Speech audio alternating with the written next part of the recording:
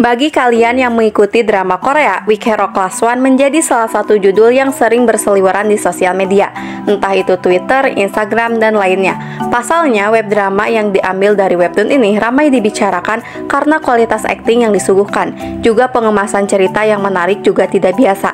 Ide yang diambil pun hal yang biasa kita temui sehari-hari, yakni kecemburuan yang tumbuh di tengah persahabatan dan dikemas dengan cara yang berbeda. Tokoh utama drama ini adalah Yeon Si-eun atau Park Ji-hoon, merupakan seorang pelajar menengah dengan kecerdasan luar biasa, terutama dalam matematika. Ia berhasil mendapatkan juara pertama, namun sayangnya Si-eun sangat lemah dalam hal fisik. Walau begitu, dengan kecerdasan, benda yang berada di sekitar serta kemampuannya memahami psikologi orang, Si-eun mampu berkelahi serta membuat lawannya ketakutan. Cerita semakin menarik ketika Yongbin berseteru dengan Si-eun, yang berujung dengan terlukanya Yongbin, orang yang dikenal sering merundung teman sekelasnya terluka karena Sien. Hal itu menciptakan atmosfer yang berbeda serta membuat Sien cukup ditakuti oleh teman-teman. Belum lagi kedatangan Obam Sok, seorang murid pindahan membuat cerita semakin seru. Persahabatan yang terjalin antara Yeon Sien, An Suho, dan Oh Bom Sok menjadi salah satu hal yang menarik. Pasalnya, mereka bertiga berangkat dari latar belakang juga karakter yang bertolak belakang. Yeon Si-eun dengan karakternya yang cukup dingin dan tidak bersahabat, namun sangat peduli dengan orang di sekitar. An Suho yang dikenal sebagai si tukang tidur di kelas karena harus bekerja paruh waktu di malam hari, namun selalu membela orang yang tidak bersalah, juga tidak segan melakukan apa pun dan yang terakhir Oh Bom Sok, putra seorang anggota majelis yang pernah mendapatkan perundungan namun memiliki perasaan sayang terhadap orang di sekitar. Beberapa orang orang beranggapan bahwa perbedaan karakter di antara persahabatan menjadi salah satu hal yang lumrah dan mampu mengeratkan persahabatan itu sendiri. Sayangnya, hal itu tidak berlaku bagi persahabatan mereka bertiga. Perbedaan karakter antara ketiganya justru yang memicu sebuah insiden tidak menyenangkan. Kesalahpahaman yang membuat cerita yang seharusnya hangat namun berakhir tragis. Semua bermula dari Bom Sok yang melihat Instagramnya Suho. Dia melihat An Suho yang sudah mengikuti Yonggi serta mengunggah beberapa foto bersamanya. Padahal An Suho sendiri belum mengikuti kembali Bom Sok. Di sini Bom Sok merasa kecewa dan terlupakan. Hal ini karena Yonggi sendiri orang baru yang hadir di tengah mereka. Bom Sok seolah Suho melupakannya. Padahal mungkin kejadian sebenarnya tidak seperti itu. Hal yang harus kalian ingat adalah perbedaan karakter ketiga orang tersebut. Dalam hal ini, kita bisa mengasumsikan bahwa apa yang ada di pikiran Bomsok tidak seperti itu. Suho bukan orang yang peduli tentang hal yang seperti itu.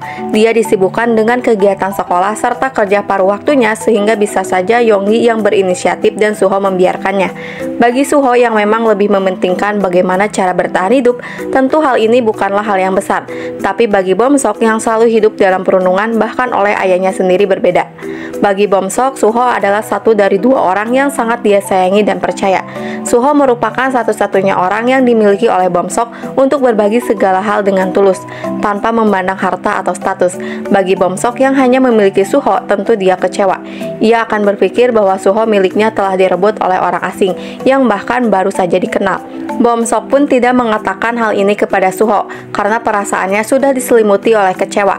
Kecemburuan tanpa komunikasi ini menjadi salah satu penyebab utama hancurnya persahabatan mereka. Kesalahan Bomsok adalah tidak mengatakan perasaan sahabatnya telah direbut oleh orang lain. Namun kesalahan ini cukup wajar sebab Bomsok selalu hidup dalam perundungan.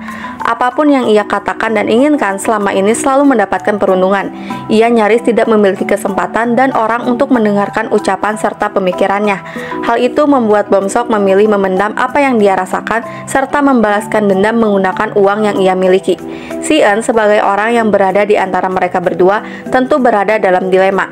Ia selalu percaya bahwa Bomsok bukanlah sosok yang bisa menyakiti temannya sendiri, walau pada akhirnya Suho terluka karena Bomsok. Namun begitu tahu apa yang sebenarnya terjadi, tentu dia sangat kecewa.